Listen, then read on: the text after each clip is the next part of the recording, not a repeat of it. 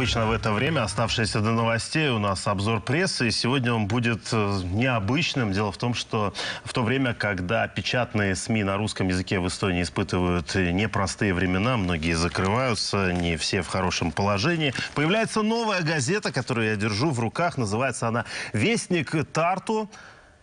Начала она выходить в прошлом месяце в студенческом городе Эстонии. Э, газета бесплатная, а мы приветствуем в нашей студии главного редактора этого издания Анну Гудым. Доброе утро. Здравствуйте. Доброе утро. Ну, поздравляем, во-первых, э, с Спасибо. изданием газеты. И расскажите, пожалуйста, какова ее концепция, каков ее формат, что вы намереваетесь там печатать и для кого?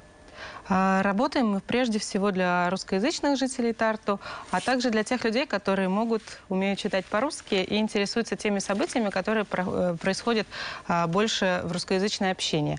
А, наш формат – это темы прежде всего культурные, научные, околонаучные, это небольшие социальные темы. Вот. И Суть этой газеты в том, чтобы рассказать людям о том, что происходит в соседнем дворе, что происходит в Тарту, что делают люди, которые живут в соседнем доме, потому что, а, как выяснилось, люди очень мало общаются друг с другом, и та информация, которая вот даже, а, может быть, за пределами Тарту известна, а, людям, которые общаются друг с другом, они, они почему-то не обмениваются. Ну, я сразу обратил внимание, разумеется, на тираж на первой полосе. 5000 экземпляров – это первые номера, потом уже вырос тираж до 5600 500. Это довольно приличная цифра по нашим меркам. О чем это говорит? О востребованности? О да, да, есть спрос, люди да, просят. Но газета бесплатная. бесплатная. За счет чего же вы существуете тогда? Кто ваш издатель? Издатель... Откуда деньги? Недоходное объединение э, культуры Тахвель а, и э, существуем мы сейчас э, за счет э, тех средств, которые предоставляет это недоходное объединение, и частично за счет рекламы, но, скажем так, на самоокупаемость газета еще не вышла. Это наша цель, чтобы она сама себя окупала. А, работает наша команда Э, на энтузиазме, бесплатно. Сколько, кстати, человек у вас в команде? Достаточно работников?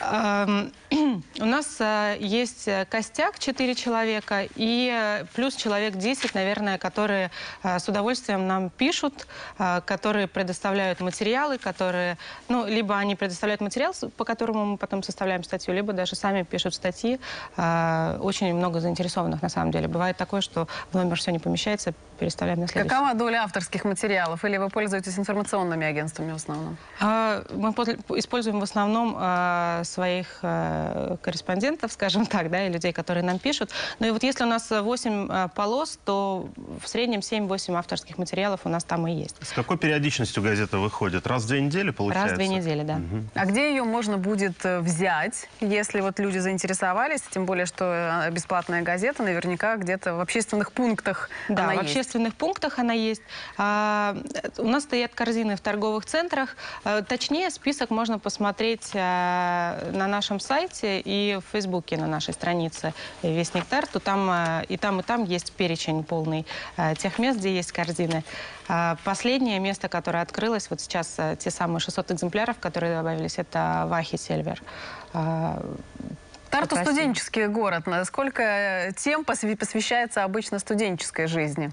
А, небольшая часть, э, поскольку студенты, как правило, любят читать на государственном языке, они им владеют, и для них это а, не такая большая, э, может быть, часть аудитории. То есть у Тартовского вестника, в принципе, другая возрастная категория? Да, это люди постарше, а, это люди, которые, которым комфортнее читать на русском языке, которые интересуются теми, э, теми событиями, которые происходят в городе, потому что студенты, как правило, они живут в своем отдельном мире. Я как бывший студент, который жил в Тарту 6 лет, это прекрасно понимаю. А местные жители, у них немножко э, своя, э, своя тематика, и поэтому... Но у вас есть и сайт вестниктарту.ee. Да. Что это? Это своего рода зеркало газеты в да. интернете? Да. Или это самостоятельный ресурс, который предлагает даже больше, чем можно прочесть на бумаге?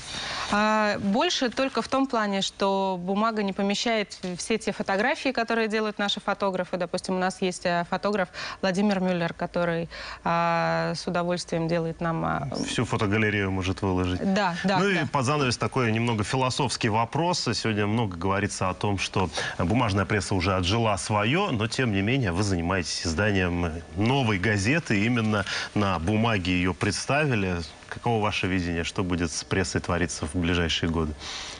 А, Конечно, молодежь э, очень заинтересована интернет-ресурсами. Но, во-первых, часть интернет-ресурсов переходит на платный контент или частично платный, да.